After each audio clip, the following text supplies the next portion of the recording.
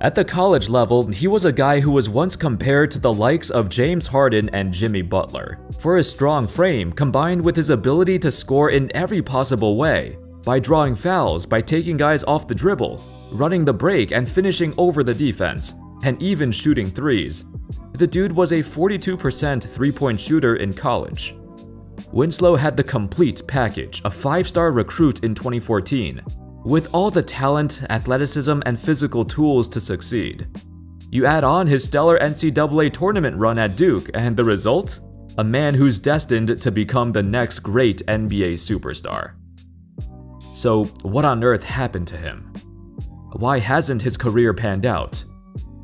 How's it going, folks? My name's Andy, and today, let's talk about Justise Winslow. Coming into the 2015 NBA draft, the mock drafts predicted he'd fall anywhere between the 5th to 10th pick. And so the Miami Heat took him with the 10th pick, three spots ahead of Devin Booker, another guy the Heat considered taking. There were quite a bunch of comparisons between Booker and Winslow at the time of the draft. While most people considered Booker as the better shooter and scorer, Winslow was considered a far superior athlete with a much higher upside. I'm sure the Heat regret this one. NBA draft expert Jonathan Givony described Winslow like this. Justise Winslow is doing his best Jimmy Butler impression, defending, rebounding, making great post-entry passes, scoring in transition. Stud. At this time, the Heat just missed the playoffs. They had a mediocre season because LeBron left a year prior. They needed somebody to fill the void, to lead this team into the next era of Miami Heat basketball, as the old guard fades away into the sunset. Before Bam Adebayo, before Tyler Herro, before Jimmy Butler, Winslow was the guy who was supposed to be the next franchise player. Getting drafted onto the Heat was initially seen as the perfect situation for him. Winslow is now surrounded by veterans and mentors who can teach him, Plus, with an experienced coaching staff and a stable organization behind him, they know what they're doing. That's all good, right? Well, the issue was that the Miami Heat playstyle really did not suit his game very well. In a stat from Synergy Sports, in Winslow's lone season at Duke, he scored 1.16 points per possession in transition, the highest of any offensive category. That was his main strength, his bread and butter. He was a run and gun transition player who thrived off his own energy. The Heat in 2015, they were the complete opposite. They were an aging, slow-paced team. In his five seasons with the Miami Heat, they were always bottom 10 in pace in every season. Most of the time, bottom 5 actually. Erik Spoelstra's teams are usually like this, to be honest. Even today, it's still the same way. He prefers a half-court game plan, which is great because his meticulous execution on offense is what he's known for. For Winslow, it threw a wrench into his playstyle. He was more of a free spirit. Although, as a rookie, he quickly made himself known as a defensive stud. This was also a strength of his coming in. He was a stifling defender, very quick on his feet laterally, but due to his frame, he could switch onto power forwards in a pinch. Pretty much every positive thing said about Winslow in his early years was because of his defense. He took on the task of defending the opposing team's best wing players every single time. Unlike most players, he actually uses his defense to fuel his offense, not the other way around, like how he described here. Honestly, I let my defense feed my offense. I just try to be that guy that can do it all defensively, and when we do that, we get stops. It lets my defense breathe life into my offense. The numbers back it up. Even as a 19-year-old, the Heat always held opponents to 6 or 7 points fewer when Winslow was on the floor. He received a ton of praise from everybody. Paul George compared him to a young Kawhi Leonard. His teammate, Dwyane Wade, said, I can't imagine what that would have been like for me, guarding Kobe and Iverson at 19. I wasn't ready. I just know when he's on the floor, we're a much better defensive team. A shoulder injury in his sophomore year was a huge setback, but generally, his offense was always a hit or miss. If he scored over 15 points in the game, then that was likely a good offensive game for him. Occasionally, you'd see flashes of his court vision and passing ability that he was praised for back in college. But just like his scoring, it was never consistent.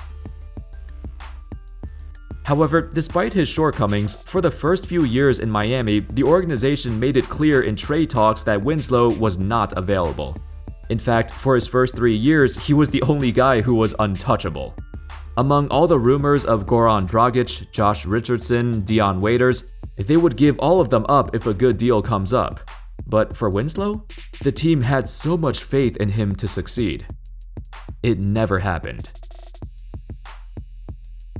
As the years went by, the expectations of Winslow slowly dwindled. The comparisons to Jimmy Butler or Kawhi Leonard became an afterthought. The Heat were hoping he would just become a mediocre offensive player at best. The dude was well below average from most areas of the floor. When it comes to finishing at the rim, that was a strong point prior to coming into the NBA. And even now, you'd assume it should still be a strong point. He's built like a tank, and supposedly has great body control. Yet his career 57% percentage at the basket is piss poor. That's lower than most point guards. His scoring efficiency overall is horrendous, a 41% career field goal percentage. But even worse, a 48% true shooting percentage. Roughly 8% below the league average for small forwards. Winslow's three-point shot was, funny enough, probably his best offensive option. In the 2018-19 season, which up until now was the best season of his career, Winslow averaged over 12 points a game, 5 rebounds and 4 assists, plus 37.5% from 3 on 4 attempts a game. The thing is, that percentage looks good by itself, but most of his threes were hardly even contested. Defenders would leave him open quite often.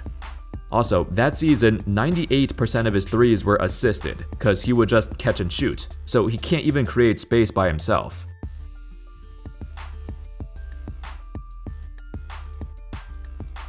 By 2020, the Heat accumulated a formidable rotation on the wings. That included Jimmy Butler, Kendrick Nunn, Duncan Robinson, and Tyler Herro. Guys who could actually, you know, put the ball into the basket. They had no need for Winslow anymore, and so, by the deadline, they traded him to the Memphis Grizzlies. He was super ecstatic to be going into a new situation, and even said the trade was, quote, one of the best things that happened in my life. Winslow also credited the Grizzlies for being patient with him. This was seen as somewhat of an attack on the Heat, because it implies that the Heat were not patient with him. Though, I don't know about that. I mean, they gave him 5 years to show what he can do. That's far more patient than most teams these days with their young guys. After those 5 years were over, they realized that this is basically the player he's always gonna be. This is who he is. Regardless, it was a fresh start for him, and he certainly needed this change of scenery. But then, his career made a drastic turn for the worse. Shortly after the trade to Memphis, Winslow suffered a severe hip injury during practice. He required hip replacement surgery, and it took 13 months for him to fully recover. This was another huge setback, and since then, his career has gone on a downward spiral. Of course, he's still in the league, but there's no hope for him becoming the star we once thought he could be. You could point to Winslow's failure in the NBA due to a multitude of reasons. He got drafted onto a team where he did shine defensively, but the offense did not match his playstyle. If he got drafted onto a younger team who played much faster, he would have fit in better. While the Heat did give him a ton of minutes, his role on the team was never defined. Early on, they pigeonholed him into a specific role, an energetic defensive player off the bench. Then, with Wade's departure and Bosh's retirement, he was asked to do too much. Like, literally run the offense like a point forward and be the initiator. He was essentially just thrown into that role. Now, those were strengths back in college, as he was far more athletic, faster, and stronger than most other guys at his position. In the NBA, not so much. He couldn't just blow past anyone or outrun them on the break. The Heat also tried to turn him into a, a Draymond Green-esque player a versatile defensive stopper who can create plays at the other end, but even so, Winslow just wasn't good enough, nor consistent enough to do that every night. Heck, even compared to Green, Winslow's offense has always been way worse. All those reasons, combined with his untimely injuries that stunted his progress, there's no returning from that. Anyway, that's all folks. Let me know your thoughts on Justise Winslow. Currently, he's still quite young, but could you see him falling out of the NBA by his late 20s?